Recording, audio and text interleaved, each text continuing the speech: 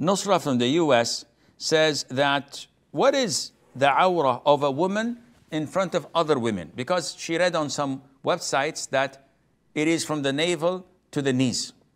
And this is a little bit preposterous with all due respect to such opinions.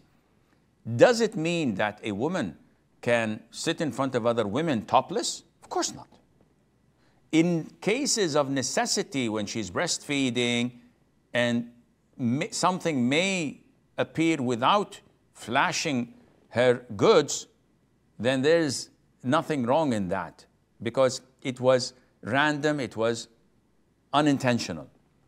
But to just say that from the navel to the knee, that is what should be covered and the rest is uh, um, uh, permissible, no, this is not true.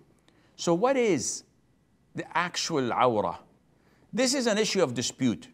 Scholars said that from the Salaf, they say whatever a woman adorns herself with jewelry, these places can be shown. So a woman wears a necklace, so she's entitled to expose from the neck downwards, not showing her cleavage.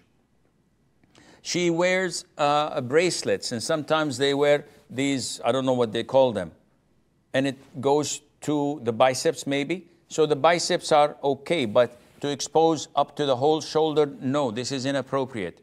The back itself is awrah. She's not supposed to wear them dresses that expose her back.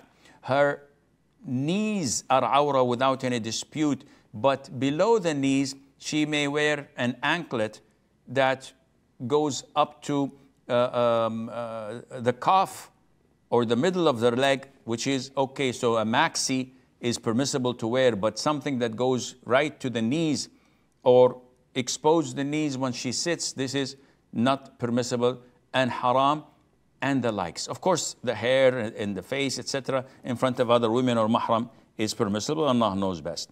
See